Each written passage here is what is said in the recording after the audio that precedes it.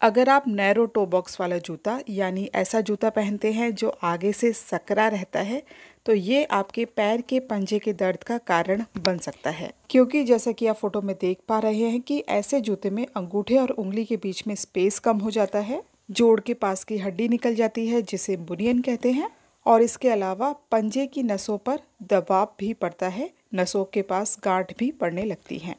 तो इन सब चीज़ों को इग्नोर करने के लिए बेहतर यही है कि ऐसे जूतों का चयन करें जिनका टो बॉक्स गोलाई के शेप में हो।